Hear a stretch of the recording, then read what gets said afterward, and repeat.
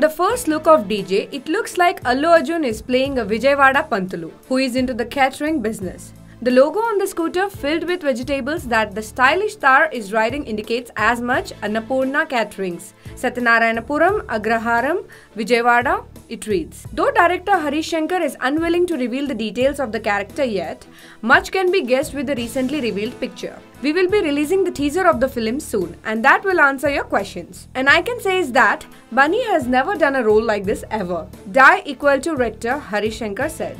As far as the styling of the character goes, it sure looks like a first for Allu Arjun. He's playing a very realistic, sweet, innocent young man who is on a larger than life mission. So the styling too is very earthly and real, explains his stylist. Talking about the thought process that went into designing the look, she was quoted saying as Allu Arjun plays a passionate young Brahmin boy who is clear about his goal in life which is why we gave the traditional Brahmin dhoti a twist. Usually, the traditional dhotis have a golden border, but we designed the dhoti with a silver border instead, alluding to silver lining that reflects the undying optimistic that this character is, and the saffron kanduva is reflective of his iron will. The focus was to keep the styling minimalistic, so Allu Arjun will be seen in simple well-cut shirts, leather sandals and accessories like rings and rudraksh. So yes, that's all about the first look of Allu Arjun but stick to this page for all the latest updates.